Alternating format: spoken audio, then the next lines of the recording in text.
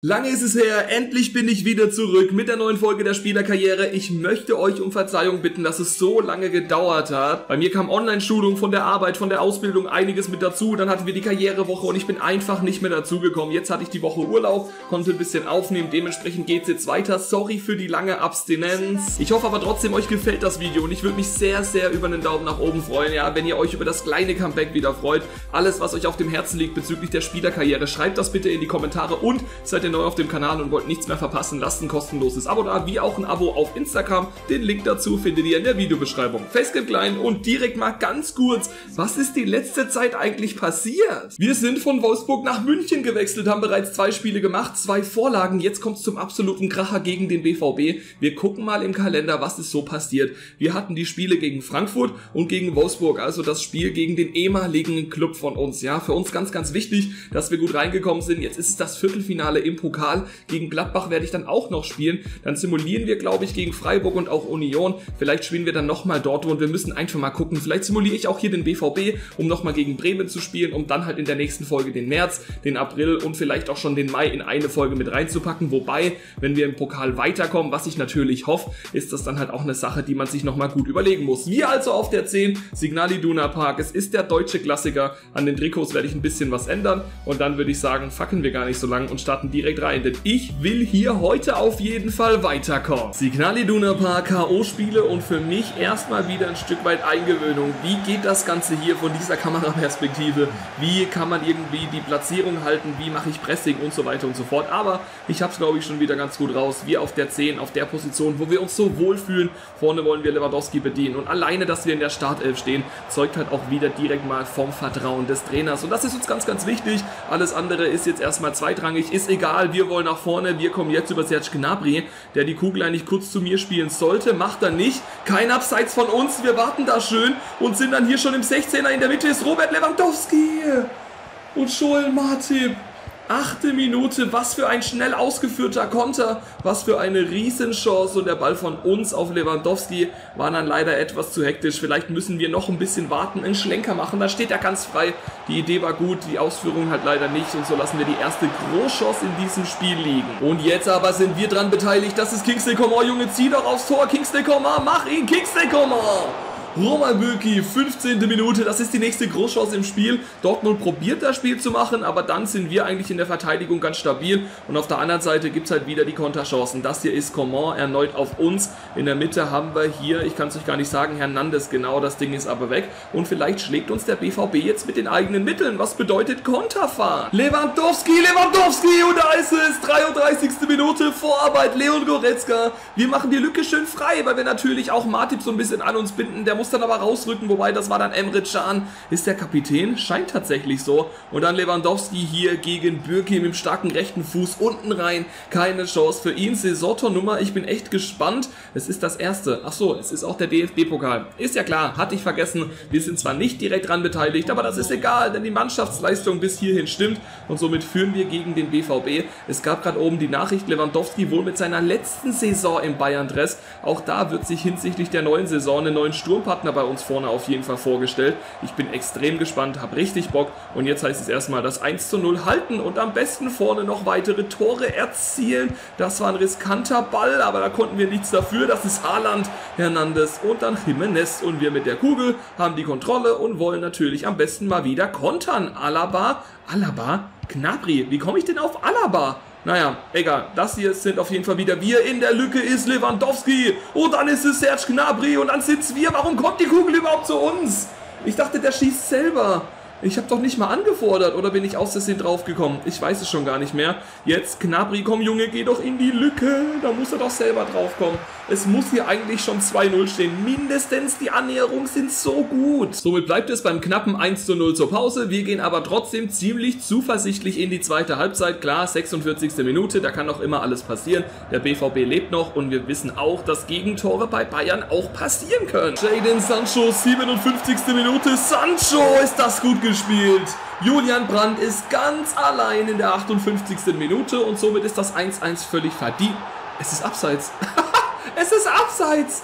Oh mein Gott, das ist so glücklich jetzt tatsächlich, weil das war eine riesen Konterchance. Es ist ein ganz okayes Spiel von uns, aber auch nicht wirklich richtig gut, ja. Ich bin nicht ganz zufrieden. Jetzt kommt wieder mal der BVB. Da muss Neuer jetzt ran gegen Guerrero und jetzt ist der übers Tor. Der BVB mit einer Doppel-Riesen-Chance, das Abseits davor, das muss man sehen. Das darf niemals Abseits sein. Also ich habe es jetzt nicht gesehen, dass es eins war, aber anstelle von Sancho, dann mach ihn selber, bevor es halt irgendwie zu der Abseits-Sache kommt, wie jetzt eben ja auch der Fall war.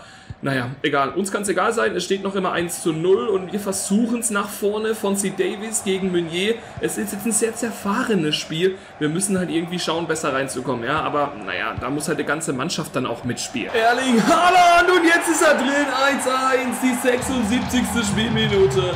Auf der anderen Seite lassen wir die Chancen liegen, aber das hat sich der BVB jetzt auch verdient. Ja, riesen Lücke. Es ist Lukas Hernandez, glaube ich, der da rausrückt und Haaland, der dann trifft. Jetzt geht Jimenez vom Feld. 15 Minuten noch. Auch wir sind eigentlich glatt. Es riecht aber fast nach Verlängerung. Außer es ist noch irgendwie der Lucky Punch. Kommen wir zurück nach diesem kleinen Rückschlag und nach diesem Nackenschlag. Oder dreht der BVB vielleicht die Partie noch komplett? Ja, was wir nicht hoffen wollen. Naja, egal. Weiter Konzentration, noch knappe 12 Minuten, vielleicht sogar eine Viertelstunde inklusive Nachspielzeit. Wo wir eine sehr gute erste Halbzeit gespielt haben, war die zweite dann leider im Gegenzug einfach viel zu wenig. Ja, ich bin auch tatsächlich mit uns nicht zufrieden, das habe ich schon gesagt.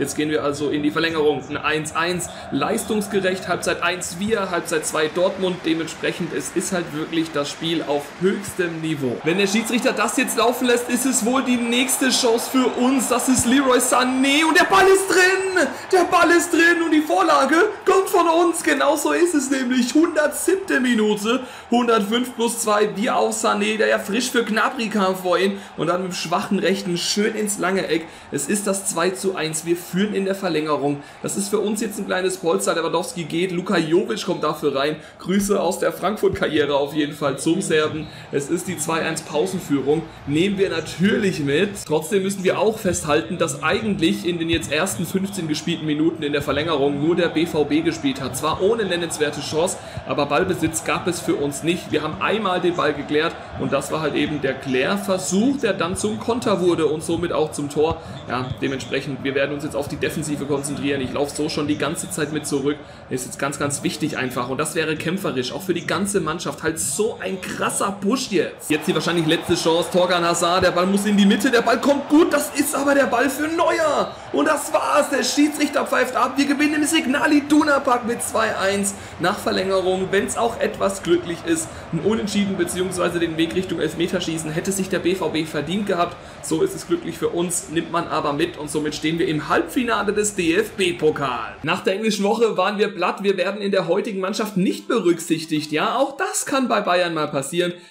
Schnellsimulation, Upamecano und Fred könnte man einfach tauschen und auch Mukiele Jimenez. Aber das sind Themen, die sind wir schon so oft durchgegangen. Schnellsimulation heute ohne uns wird es genauso erfolgreich. Es wird ein 3-0. Es ist Gnabry, Sané verschießt einen Elfmeter, dann macht das aber wieder gut und nochmal Gnabry. Wir lassen Gladbach keine Chance, bleiben weiter auf dem Tabellenplatz Nummer 1, was für uns auch wichtig ist, denn wir wollen jetzt auch noch, ich würde sagen, Freiburg und Union simulieren, sodass wir gegen den BVB vielleicht sogar schon eines der entscheidenden Spiele um die Meisterschaft nochmal selber spielen können. Wir stehen mal wieder in der Startformation, gehen aber rein. Ja, wie gesagt, auswärts gegen Freiburg, drei Punkte, eigentlich Pflicht und diese Punkte holen wir auch rein. Es ist Jovic, der für Lewandowski gespielt hat, glaube ich zumindest, Coman und dann nochmal Jovic. Jetzt gehen wir weiter, gucken auf unsere Statistik. Dortmund schlägt auch Gladbach. Die bleiben also weiter dran. Das war jetzt unser viertes Spiel von Anfang an. War eine Vorlage mit dabei. In dem Fall jetzt leider nicht, aber ganz ehrlich, das ist eher zweitrangig, denn der volle Fokus liegt natürlich auf den Kampf in der Meisterschaft und auf die komplette Mannschaft. Da ist es nicht ganz so wichtig, ob wir Minimum eine direkte Torbeteiligung pro Partie haben. Wir stehen wieder in der Startelf, wollen uns natürlich selbstverständlich beweisen an der alten Fürsterei. Wir simulieren aber auch das. Die lange Simulation geht ja leider nicht. Es ist ein 1 zu 5. Wir haben eröffnet Leroy Sané, dann ist es Jovic, dann Musa mit dem 1-3. Ja, eigentlich nur Kosmetik. Dann ist es Jimenez und es ist Fred. Und wir haben absolut abgeliefert. Was war das für ein Spektakel? Wir haben getroffen. Das erste Tor also im Dress vom FC Bayern München. Und auch das ist wichtig. Aber nicht nur das. Wir haben sogar noch ein Spiel vorbereitet. Ein Spiel Spiel ein Tor vorbereitet und sind jetzt nach diesem Spiel top vorbereitet für den Klassiker, nicht im Pokal, sondern in der Liga, denn der BVB ist uns ganz dicht auf den Fersen und somit heißt es auch, verlieren verboten in dem jetzt anstehenden Spiel gegen Borussia Dortmund. Samstag vermutlich das Abendspiel. Gucken wir mal drauf, ob sie den Schritt mitgehen konnten mit einem Sieg. Genauso ist es. Wenn wir gewinnen, haben wir fünf Punkte Vorsprung. Wenn wir verlieren, holt der BVB Big Points und zieht kurze Zeit zumindest mal an uns vorbei. Gehen wir also rein, diesmal in den wirklichen Auswärtstrikots, in den hellgrauen Trikots, weiß, hellgrau, irgendwie sowas. Die gelbe Wand der BVB ja, wir haben ja, glaube ich, auch im Pokal auswärts gespielt. Ich meine schon. Von daher, die Atmosphäre sind wir gewöhnt. Wir können also auf jeden Fall komplett Gas geben. Wollen wir auch. Wir direkt im Zweikampf. Wichtig reinzukommen. Dortmund wird das Spiel machen wollen. Ja, sie wollen auf jeden Fall die Revanche nach dem Aus im Pokal. Aber wir wollen in der Liga am besten alle Träume auf nationale Titel des BVBs zerstören. Jetzt setzen wir uns mal im 1 gegen 1 durch und prüfen Birki. Das ist die erste Möglichkeit im Spiel. Ansonsten ist das tatsächlich bis hierhin Mangelware. Luka Jovic mit der Idee wieder mal für uns. Ja, jetzt hat der BVB wieder die Kontrolle. Es ist ein sehr krasses Mittelfeldgeblänke. Es passiert nicht ganz so viel. Dortmund will, Dortmund probiert, im letzten Moment aber wir in der Verteidigung da oder halt eben Neuer, der bisher aber nur einmal eingreifen musste, wie jetzt auch Bürki. Ansonsten spielen wir es auch bis zum 16er ran, wo wir dann auch nicht weiter durchkommen. Ja, keine Ahnung. Es ist ein 0-0, das glaube ich auch gemessen an den Spielanteilen und an dem ganzen Verlauf bis hierhin komplett in Ordnung ist. Wenn aber ein Tor passiert, nimmt man das egal auf welcher Seite mit, einfach für ein bisschen mehr Action. Aber natürlich wollen wir treffen. Aber wenn Dortmund trifft, müssen wir halt mehr ins Risiko gehen. Es kann nur besser werden. Das will ich damit sagen. Jovic mit einem Trauball für Leroy Sané und dann schießt er nicht selber, sondern will nochmal vorbereiten. Sowas wieder glücklich vor der Pause würde man eigentlich mitnehmen, aber weiter bleibt es beim torlosen 0-0 und wenn, dann sind es oftmals einfach nur Zufallsprodukte. Gerade als Szene, als Spielmacher sind wir ja mehr oder weniger gebunden als Offensivspieler, dass wir dann halt da genau solche Situationen bekommen. Es gibt aber nicht so viele. Wir machen aber ein ganz gutes Spiel. Für das, dass es vorne nicht so viel gibt, machen wir es aber echt in Ordnung. Wir sind der Einzige, der vorne irgendwie die ganze Zeit probiert, macht und tut, ja, aber ja, wie gesagt, wir sind halt an offensiven Fußball eigentlich gewöhnt. Und wenn wir den nicht bekommen, dann kommen wir auch nicht richtig ins Spiel. Wer jetzt aber ins Spiel kommt, ist Erling Haaland. Es ist das 1 zu 0. Was für ein Abschluss vom Norweger. Das Biest da vorne drin. Ja, solche macht er halt mal. Das ist auch wieder mal, ja, ich sag mal, ein fettes Zeugnis seiner individuellen Qualität. Es ist einfach eine absolute Maschine. Das muss man so lassen. Und Dortmund führt nicht unverdient, weil sie, glaube ich, schon ein bisschen mehr machen als wir in dem Spiel. Dortmund hat jetzt die komplette Kontrolle. Ja, nach diesem 1 zu 0 finden wir gar nicht mehr statt. Wir kommen nicht mehr rein. Ja, wenn es was gibt, dann machen wir es vorne. Ja, aber Jovic und wir, das passt einfach noch nicht zu 100%. Aber woher soll es auch kommen? Ja, ohne die nötigen nötigen Absprachen. Jetzt haben wir also eine Doppelspitze, wir jetzt als linker Stürmer eingeteilt. Jetzt müssen sie erstmal ran gegen Lars Bender. Hinten drin kann ich jetzt nicht mehr so viel Unterstützung leisten. Das ist Haaland, der setzt sich wieder mal bombastisch durch.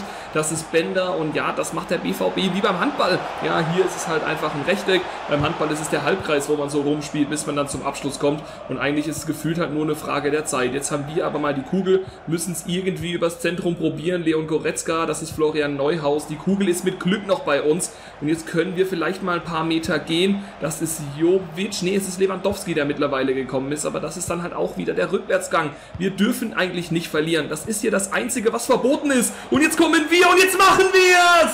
85. Minute, let's go! Tor in München! Fratello ist die Lebensversicherung beim FC Bayern München, der Stand jetzt dafür zuständig ist, dass wir weiter von der Tabellenspitze grüßen. Lewandowski mit einem Weltklasse-Ball, wo ich davor gesagt habe, die Absprache mit Jovic passt nicht, passt sie umso mehr hier mit Robert Lewandowski. Fünf Minuten vor Ende der regulären Spielzeit haben wir die Tabellenspitze wieder zurück, aber das heißt auch hier noch immer nichts. Es sind nur zwei Punkte. Es kann zu jedem Zeitpunkt noch immer wieder einen Wechsel der Führung in der Bundesliga geben. Und vielleicht gibt es sogar noch den Siegtreffer. Das ist Coman. Jetzt muss der Ball eigentlich in die Mitte. Coman, aber dann ist es hier Emre Can und die Kugel ist geklärt. Der muss halt vorher reinkommen. Es ist das 1-1, das nehmen wir mit. Völlig in Ordnung. Dortmund 1, wir 1 und wir sind der Torschütze. Und natürlich jetzt dann auch bei den Fans vielleicht in Sachen Sympathie nochmal weiter aufgestiegen in der Leiter. Wir stehen mal wieder nicht in der Startformation. Ja, vielleicht auch, weil das letzte Spiel gar nicht so lang her ist. Oscar anstelle von uns gegen Werder Bremen gehen wir rein.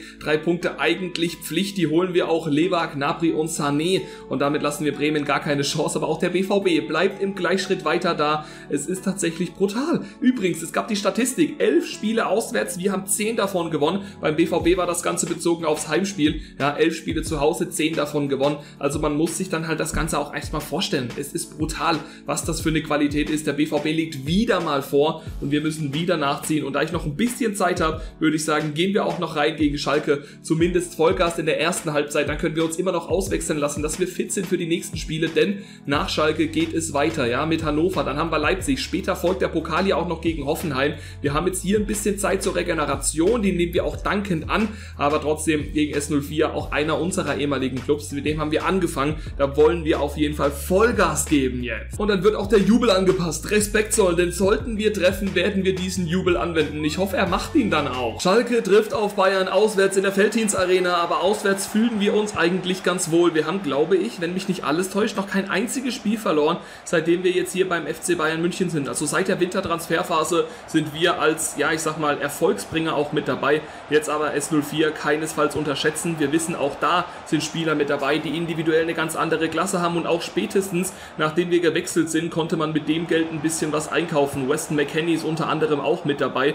Jetzt kommen wir direkt mal hier die Kontermöglichkeit. Lewandowski vorne schicken wäre natürlich von Vorteil, wenn wir hier direkt mal Tore erzielen, aber Stamboli macht das gut, läuft Sané ab und Schalke zeigt direkt mal auch von vornherein, hey, so komplett abschießen lassen wir uns auf gar keinen Fall. Jetzt Balleroberung, wir machen aber von vornherein direkt Druck. Das ist Lewandowski, die Kugel darf gerne nochmal zu uns und dann ist der Ball drin.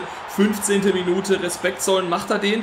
Wie mache ich denn den Jubel? Nee, so viel zum Thema. Jubel eingestellt, ich drücke auf X, weil ich eigentlich immer nur auf X jubel und er jubelt erstmal komplett, obwohl eigentlich Respekt sollen angesagt war. Weltklasse gespielt und damit, ja, unterstreicht es auch nochmal die Connection Leches bzw. Fratello und Lewandowski. Das harmoniert einfach. Bam, siebtes Tor, wir sind wieder da, führen gegen S04 und das nach 15 Minuten, die eigentlich den Anschein gemacht haben, dass sie sich nicht komplett hinten rein zwängen lassen wollen, aber wenn wir halt mal Gas geben, dann ist es halt das einzige, was übrig bleibt. Das muss man zur Verteidigung von S04 auch dazu sagen. Jetzt kommt wieder wir Lewandowski. Oh, das wäre abseits gewesen. War dann nicht gut von mir. Schalke kommt besser ins Spiel. Ja, wir haben irgendwie, warum auch immer, zwei Gänge zurückgeschalten, verlagern uns aufs Kontern. Das könnte funktionieren, das würde auch funktionieren, wenn man halt hinten drin schnell nach vorne kommt. Das war bisher erst einmal der Fall, aber so wie hier Hernandez, dann war es wohl Handspiel. Aber das wäre wieder so ein typischer Konter gewesen. Jetzt kommt hier Vieira, 32. Minute, 26 Meter Torentfernung. Schalke versteckt sich jetzt nicht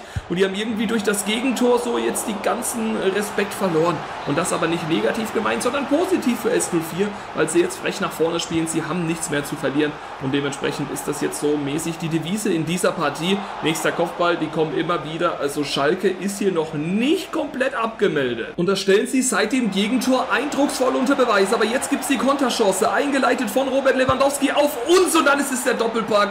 Es ist der Doppelpack. Ich habe den Jubel jetzt nicht übersprungen, aber ich wollte halt eigentlich jubeln. Ja, dann doch übersprungen, aber dann haben wir schon mal nicht vor der, vor der Fankurve komplett gejubelt. Es steht 2-0. Es ist halt jetzt sau bitter für Schalke, weil tatsächlich zwischenzeitlich absolut mehr drin war. Ja, sie haben wirklich ein richtig gutes Spiel abgeliefert, waren immer wieder auch mal vorne und jetzt dann halt der Doppelpack von uns und vielleicht sogar der Dreierpack lupenreiner Hattrick, weil Knapri das Ding nochmal auf uns legt es ist dann jetzt auch brutal, ja, weil eine 1-0-Führung hätte ich unterschrieben, wobei fast die auch schon ein bisschen zu hoch gewesen wäre.